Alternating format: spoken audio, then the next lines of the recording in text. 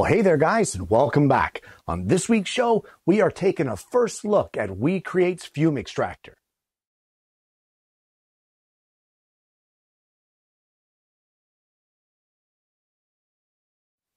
Well, for me, best case scenario when it comes to laser engraving is for me to vent to the outside.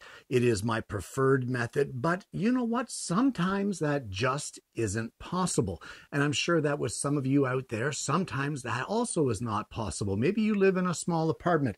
Maybe you don't have the means to vent outside. Maybe it's just too cold. Maybe you don't have windows that open in the area where your laser is. But for whatever reason, Sometimes it is just not possible to vent outside. And that is where the fume extractor from WeCreat comes in handy. Now, a while back on the show, I showed you the WeCreat Vision, and I was quite impressed with that machine. And the good folks at WeCreat have sent me out this extractor today to play around with and see what I think of it. And I thought I would bring it to you today here on the show so I could bring my results and my thoughts on it to you. Because for some of you out there, I am positive that this would be uh, a, a, welcome asset to you if you are unable to vent to the outside. So, either way, guys, let's take a look inside the house. We're going to go through what you get and we're going to give this a little bit of a test. Well, this is the WeCreat fume extractor as it comes out of the box. This is everything you see here. It comes with the extractor itself. You have your manual a couple of hose clamps. This here is your top flange that you will connect your hose to from your laser or whatever it is that you're going to be venting.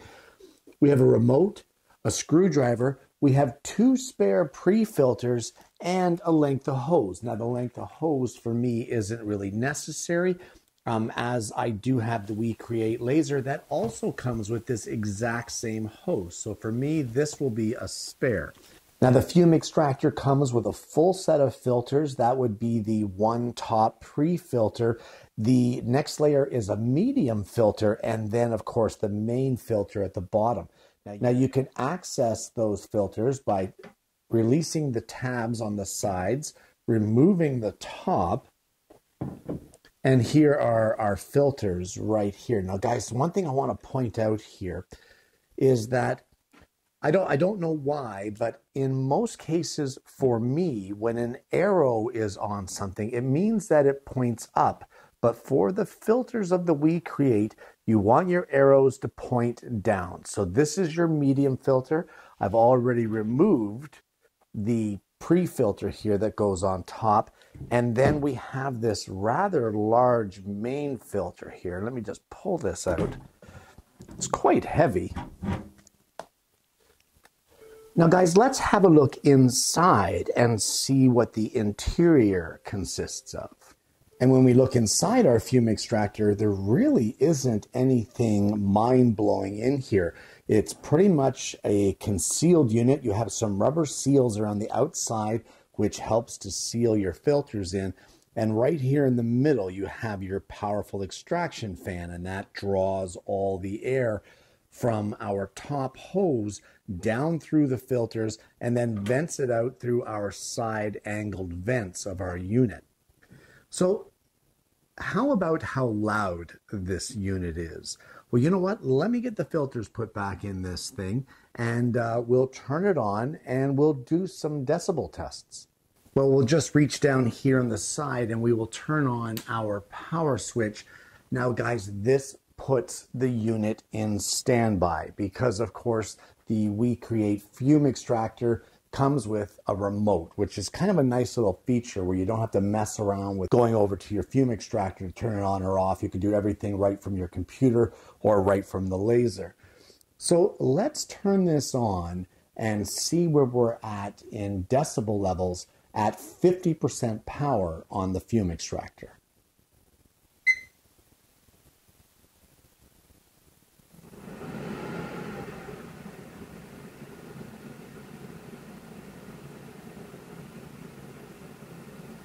Now we can see here while this is running, our LEDs show us our power level or our fan level. We can turn them up here manually or use our remote. And we can see here that it is at 50% of its output. So let's turn it up to 100 and see how we are for decibel levels.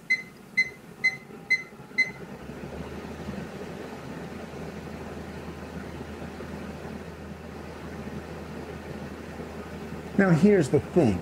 At 50% of the power, the fume extractor was registering less than 60 decibels. Now, 60 decibels is a regular conversation that you would be having with somebody from about a distance of three feet. That's about 60 decibels. So, not very strong at all. Now, as it went to the 100%, we were a little over 60 at about 63 to 64 decibels. But guys, even that is just regular street noise. It is not anything that is dangerous. It's not anything that's ear splitting. It is not loud. And in fact, it is in the range of moderate noise. It is the same sort of noise that you would have around your house on a regular basis. So this thing, as far as I'm concerned, is quite quiet. Now, running it at 100% power, to me, I don't see any point in that. If you are running a laser, say an open frame laser that is in an enclosure that does not have any fan or any extraction methods whatsoever, then you may want to run the fume extractor at 100% to draw that air out of your um, enclosure in order to vent it and, and filter it through the fume extractor. However, if you're using something like the WeCreat Vision, where it has an internal fan that is venting the enclosure as it runs, there's no need to run this at 100%. You could probably bring it right down to 50%, filter it just fine that way. And honestly, guys, that should do you just fine. I don't see any purpose um, with a fully enclosed laser system that has venting fans already installed I don't see any purpose of running this at 100%. So for starters, I'm going to run it at 50 and see how we do. So what I want to do next is I want to get our WeCreat Vision out here on the table. I want to hook it up to our extractor and I want to do a couple of test cuts. In order to connect the fume extractor to your laser, you just want to use this flange that they provide. Slide your hose from your laser over top of it and then using one of the included pipe clamps, just tighten it in place. Once you get it tightened and you're happy with that, this larger section of the end just friction fits right down in there. That's it. You're ready to go. So let's get the WeCreat fired up and let's take this for a test spin. Well, one of my favorite projects to test is my little charging cord tags. Guys, it's a great one to test because it creates quite a bit of smoke with engraving the actual letters with the full engrave, and then it creates even more smoke with the cutting. So what I want to do here is for starters, we're going to refresh our image. And once again, this camera is phenomenal. You can see it's not going to be able to engrave on here, but by using the camera, we can use up every little bit of scrap that we want. There we go, look at that. Okay, so let's do the autofocus. And now that the laser is happy with that, we will start our project and send it to the laser. But just before we click our start button on the front of the WeCreat Vision, we're going to start up our fume extractor.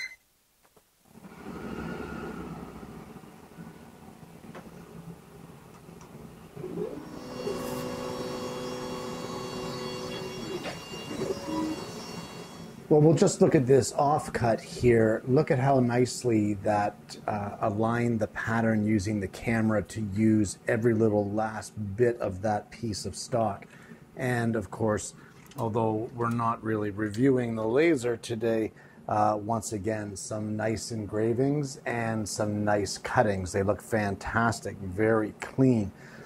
Well, I'm going to do a whole bunch more of these. I have about another dozen of those to cut.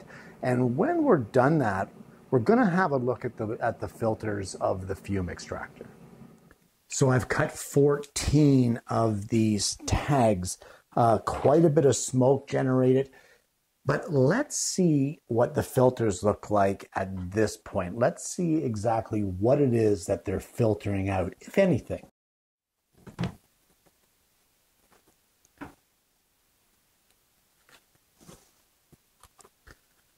Well, now you have to remember that this is a very moderate amount of engraving.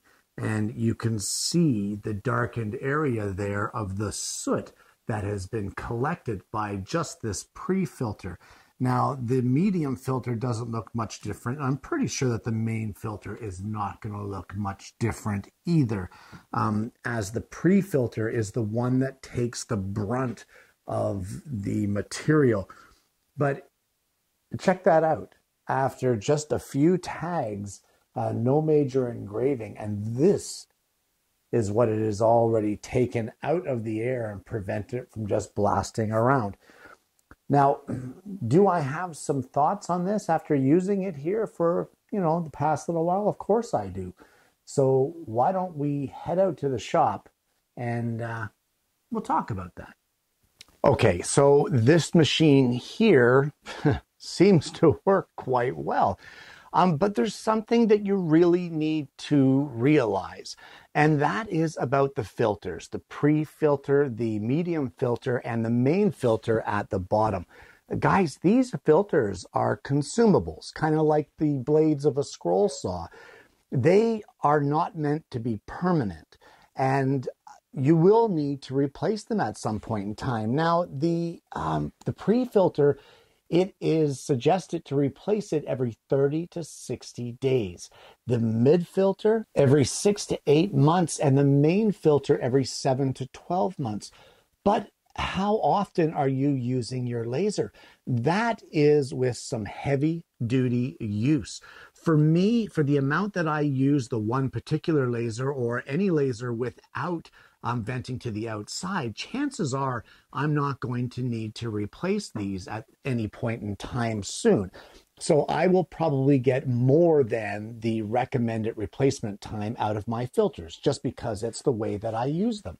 So you will need to determine for your usage, how is it that you plan on using this? Is this going to be your full time venting? Are you going to be engraving with your laser engraver all the time, like eight hours a day? Because if that's the case and you're doing it kind of as a business venture, you may want to incorporate in your business plan the cost of the filters. I'm going to put a link down below to these filters so you can check them out yourself so you know what you're in for uh, when you do have to replace them. But let me tell you a story here. When I was engraving, as I said earlier in the video, I love doing my tags, my charging cord tag labels um, when I'm testing something because it has a lot of deep dark engraving with the full engraved letters and it has cutting of the three millimeter plywood, which in turn creates quite a bit of smoke. So while it was engraving all of the letters with the fume extractor on, whether it be 50%, I tried it with all different kinds 50, 60, 70, 80, 90, 100. I even went down as low as 30. The lower powers worked for me because of the exhaust fan in the WeCreat Vision. I didn't have to have it up at 100%. So while it was engraving, it filtered out all of the fumes and filtered out all of the smells or the odors. Once it started cutting, the smoke and the fumes were filtered, but I could smell the smoke. I could smell the smoke from the cutting. Now, some of you may be saying, well, then this thing doesn't work. You have to realize what is happening here. Now, the difference between fumes and scents or odors is a fume is a gas or smoke or vapor, uh, and it can be dangerous. It can be volatile. That is what a fume is. But an odor is a property of that particular fume, let's say, or that particular process. So while the plywood itself has no actual smells, the fume in this case would be the smoke created by the laser by cutting, and the fume extractor completely removed that. I even went through the room with a very powerful laser pointer and shone it everywhere in the room, and I could not see the beam. So there was no smoke in the room. But you have to remember the smell is a product of the process. So there was no smell before. There's a smell once it cuts. An odor is a scent. A fume is a gaseous object that, that is released by another object. It's one of those things where, let's just say natural gas. The natural gas is the fume. That is what damages you. That's what hurts you. That natural gas coming out. That is the fume. But it has no odor. So they add a smell to it in order to give our sense, our, our senses the ability to have our sense of smell detect it. And that's what's happening here. So while I could still smell the cutting, that doesn't mean that it's not doing its job. It is still filtering out the fume, which is the smoke, which carries all of the bad stuff out into the air. Um, you have to remember too that the WeCreat Vision is not an airtight unit. So some of that smoke can escape. You have to remember that with the WeCreat fume extractor and the filtering system that they have in place, it filters out, according to their specifications, 99.97% of the fumes that are created when laser engraving. And that can be anything. It could be the toxins, it could be um, the dust, that's what settles initially in that first pre filter. It can be anything like that. It's the stuff that's bad for you. That's what's contained in the fumes. The smell of the burning, the scent of it, that's just a smell. That's just what lets your senses know that something is going on. So when it comes to these fume extractors, whether it be WeCreat's or another brand, right across the board, it doesn't matter who they are. Don't confuse fumes and odors or fumes and scents. They are two different things. One can be, but doesn't have to be volatile, and the other is just something to let you know that there's something going on. You know, that's the smell or the product of a process. So, what do I think of the fume extractor? Well, you know what? I kind of like the unit. I love how quiet it is. I love the remote. I love how easy it is to use. I love the fact that if I have a quick engraving job to do, I don't have to muck around with having to get my plywood up into the window and then hook my hoses up to it, get my laser over there, etc., etc. It's quite a process for me to laser engrave anything in the house. It's quite a process for me to do laser engraving out here in the shop because there is setup involved. I don't have a designated laser station that I can just go to and laser engrave. But with the fume extractor, now I do because for the smaller engraving jobs or even the larger ones, I can just step in, turn the machine on, and away I go. Run this thing at my 50%, which I found worked best for me, and away you go. You're done. It, it just takes away all of that smoke, no smoke in the house a little bit of a scent from the from the plywood burning, but that's the product of the plywood. It's not the machine not doing its job. Put it that way. I like the remote. I think the remote works really well. It's very convenient for me to use that from my computer now or what have you. I like the fact that it doesn't weigh 400 pounds. Um, the actual laser is much heavier than this. This thing here, I can pretty much carry it with one hand. It's not that big of a deal. I like the fact that it's somewhat compact. It tucks away in behind the laser. It's not getting in my way. I like the fact that it's an all metal construction. I really like that about it. Guys, it's just it's just a product that works. And um, you know what? It's if you're one of these people that don't have the ability to vent to the outside, but you really want to get into laser engraving, a fume extractor might be the way that you can do this. This might be the solution to your fume extraction problems. And there you have it, the WeCreat Fume Extractor.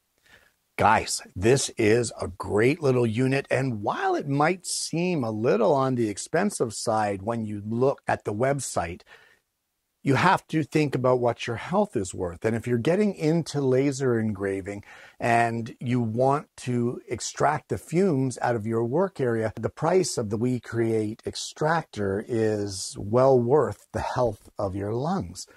Now, if you can vent outside, that is best case scenario for me. That is my preferred method. And whenever I can vent outside, I do because that's the best way for me to go about it. It takes it all out of here and I don't have to worry not a bit about it. But as I said, there are some times when you've got a quick little job that you want to do that you just can't be bothered to hook everything up, but you don't want to take your health for granted. And that's where this unit comes into play. Now, all the accessories that come with it, it comes with every single thing you need. The full set of filters, the pre-filters, which are the ones that need to get changed the most. The recommended time is 30 to 60 days, but it comes with three of those. So if you need to replace those, let's just say 60 days. So you've got six months worth of your pre-filters. Um, but that also is dependent on how much you're engraving. And you can press the OK button and it will give you a display on the front of the panel to tell you how long your engraver has been running. So if you're wondering, you don't have to keep track of it. It keeps track of it for you. So it comes with all the filters. It comes with the remote. There's a battery in the remote. It comes with a hose. It comes with the hose clamps. It comes with a flange to fit it to the actual WeCreat uh, machine itself. It comes with a manual and a screwdriver. Now, the screwdriver is actually to replace the fuse. There is a hidden fuse in the side panel of this, very clear in the instructions as to how to get it out, how to replace it, but that is what the screwdriver is for. But guys, one stop shopping. This is all you need. You get it and you go. That's all there is to it. Either way, if you are someone that is having issues with having the ability to vent to the outside and you were thinking about a fume extractor, but you weren't quite sure whether or not it was going to do what you want it to do, well, then hopefully today's show has provided you with those answers, and hopefully this is the answer for you. Guys, I want to thank you so much for tuning in. I want to thank WeCreat for sending out the fume extractor for me to play around with today. Um, this is a great little unit. I'm sure it's going to serve me well. Guys, I'm going to post all the links down below for this stuff if you're interested uh, for the filter sets and for the WeCreat fume extractor. I'll even put a link down there for the WeCreat Vision in case you missed the link from the last show. Guys, if you haven't already, please consider liking and subscribing to the channel. We have an amazing audience base here, guys, and I'm hoping that you're going to consider becoming a part of that. Guys, I want to thank you so much for tuning in. I hope you've enjoyed today's program. I hope you found this to be a little bit informative. I hope that this is the answer for you if you are having some extraction problems with your laser engraving. But more importantly, I hope you're going to join me again next week when I bring you yet another Alternative Tuesdays.